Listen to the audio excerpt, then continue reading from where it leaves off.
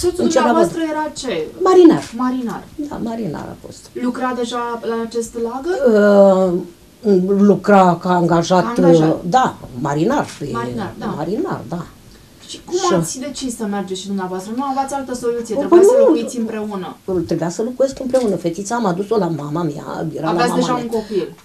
Aveam deja un copil, Da. când el s-a lăsat la vatră, aveam fetița. Da?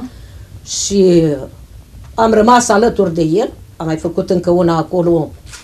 E născut în Periprava pe 23 ianuarie 1960. Hrabanov, Irina Oprița, e născut acolo. Acolo neavând femei, nefiind nimeni, decât era colonelul care a fost comandant atunci. Ăsta Ce era colonel era? Emil Condurache, așa îl chema, era un om foarte, foarte bătrân, era ietate, dar și foarte bun. Era singurul care era cu soția? Uh, nu, soția o aducea de la București când și când așa, dar era bătrân și era în prag de pensionare.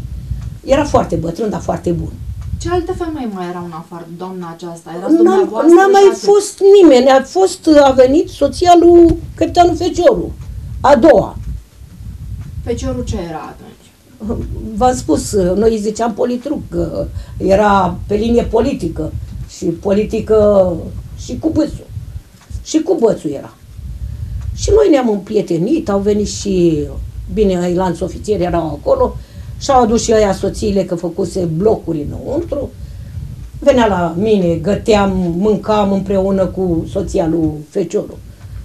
Am fost la baie împreună, la ghiol, De cum a fost experiența asta, anii ăștia pentru dumneavoastră? Foarte Ce ați grei. văzut acolo? Povestiți-mi. foarte grei, foarte grei, pentru că am fost cunoscută de mulți deținuți de acolo și în special prima dată când uh, încă nu o aveam pe Irina și o aveam pe asta micuță, pe Lilișor, era cu noi acolo, soțul meu se plimba pe dig, pe acolo. Și treceau echipele de deținuți, îi ducea uh, parțial, îi ducea la grădină, că aveau și grădină de zazafat.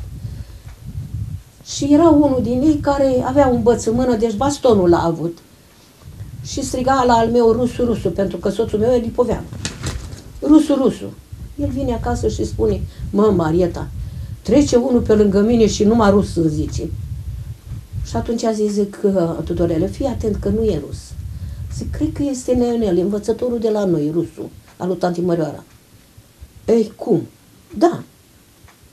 Și atunci am, încep, am cerut noi că stăteam pe șlep și erau atâtea sălci pe malul Dunării și îmi trebuia lemne de foc, că doar nu găteai, nu era aragaze.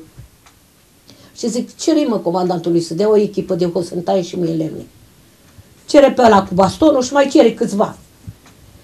Și a venit uh, fratele lui părintele genică de la Goicea, Cornel, și cu învățătorul rusu și mi-au tăiat lemne. Și atunci mi-au spus așa repede pe șoptite că îi îndrumam unde să le ducă pe vas acolo. Marieta, eu sunt. Zice, când te duci acasă, îi spui lui tantita Mărioara că sunt aici. Vă dați seama cum era pentru mine. Nu puteam să spun atunci pentru că noi eram monitorizați, să stătea tot timpul după noi. Și nu aveai cum să vorbești. Cine stătea după dumneavoastră tot timpul? Cine îi monitoriza pe Oh. cei care erau pe vas? Erau destui spioni. Erau destui spioni acolo. Uh, În 62 ne-am mutat direct în colonie. N-am mai vrut să mai stau pe vas pentru că soțul meu a luat șalupa în primire. Și uh, ne duceam decât când îi transportam. Îi duceam la Salcia.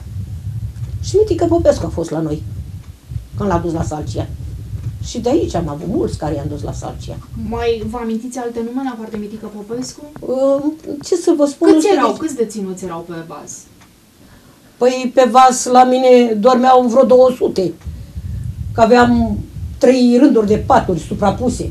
Dormeau și doi în pat. Ne-a spart și vasul pentru că era un șlep uh, grecesc foarte vechi și avea deja chisoane de ciment. Și uh, dacă, scuzați, asta e expresia, aveau tinete, butoaie din alea, deci făceau nevoile înăuntru. Că nu putea să iese afară. Când se închidea tambuchiul ăla, n-avea cum să iese, putea să moară toți. Și aveau tinete din alea, făceau acolo în butoaiele alea până dădea peste. Și ne-am trezit odată cu apa peste, peste dușul meu. Domn capitan, ca așa îi zicea la ol meu, domn capitan, domn capitan să neacă vasul. Uh, a sunat adunarea, i-a scos afară, uh, unii trăgeau la pompe să dea drumul la apă și am văzut de unde curge. Am luat șuncă, când îmi trimitea mămica de aici, mama mea îmi trimitea șuncă, am luat bucăți de șuncă și puneam, de exemplu, aici era gaura. Și puneam bucata de șuncă acolo și puneam greutate. Și după aia turnam chisot de ciment acolo. Uh, În rând cu mine mai erau încă două șlepuri. Deci al nostru era Demostenii, Ilias și Geronde. Trei vase dormitoare, care era și era pe canalul Cerneavca, în spatele comunii Periprava, pe canalul unde era un șlep cu mine necat. A mai ieșit o mină de acolo, dar n-a trecut pe lângă noi, s-a oprit în ponton. Și-au detonat-o acolo de n-a rămas un geam în toată periprava, n-a rămas un geam. Așa a fost. Și de asta vreau să vă spun că vina o are mare soția lui, spunea. Nu putea să odihnească din cauza țipetilor. Deci el îi ciomăgea. El era bătăușul acolo. Feciorul.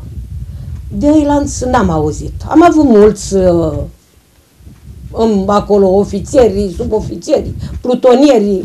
Pe urmă când am locuit la Ce v-a casă. rămas așa antiporit? Eu știu, prin ce trecuseră oamenii. Vă amintiți ceva, nu știu, scenă din acestea cumplite, la care erau supuși? Da, să vă spun scena cumplită. Vedeți, aici sunt maldăre de stuf, sunt uh, stuf. Aici este stuf în spatele nostru. Da.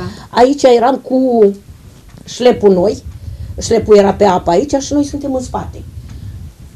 Și a murit fratele lui Părintele Genică. Noi îi ziceam tot Popa Cornel, fratele lui Părintele Genică, Cornel îl chema. Și strigă un uh, caraleu din ăla la soțul meu, Nea Tudore, dă-ne te rog barca, că avem să trecem ceva dincolo. N-aveai voie să te uiți când treceau în partea ilaltă. Dar, cum e femeia iscoditoare, un pic perdeaua la o parte să mă uit să văd ce trece în partea ilaltă. Un om culcat în barcă, n-am știut ce este. Ajunge pe malul ălalt, îl trăște din barcă și îl pune pe mal, desface un maldăr de, de stuf, îl dezbracă cum s-a născut și îl aruncă pe, Se întâmpla des? pe Să stup. vedeți A, asemenea scene? sigur că da, sigur Deci că îi da. omorau și de Nu știu dacă îi mai omorau, dar mureau și de foame și de frig.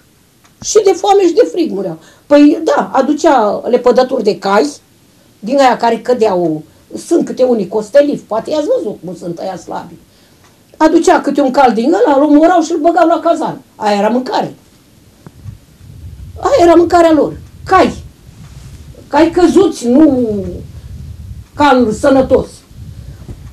Și l-a aruncat pe fratele lui Părintele Genică pe mal, l-a dezbrăcat gol-goluț, l-a pus pe maldărul de stuf, aici la picioare l-a legat cu o sârmă, aici cu o sârmă și aici cu o sârmă.